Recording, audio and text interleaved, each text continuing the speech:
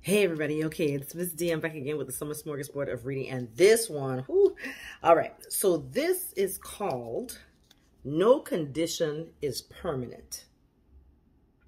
All right, by Cristina Kessler, and it deals with a young girl by the name of Jody, and she is, she and her mother are moving to Sierra Leone, and she's like, I, you know, we're moving over here, I, I, don't, I don't know anybody or anything like that. She makes friends with a girl named Kadi. Kadi, I mean, that's how I'm going to pronounce it and they become very close friends. They do everything together. They're out there working in the rice fields and all that stuff like that. And then over a period of time, girls are coming up missing. They're mysteriously missing, including Jody's friend Kadi. And she's asking her around. It's like, well, what's going on? Her mother's like, you need to stay out of it because it's a secret society type, type of thing. Come to find out, she's finding out that the girls are being mutilated, for lack of a better word, because they go through the you know, the process of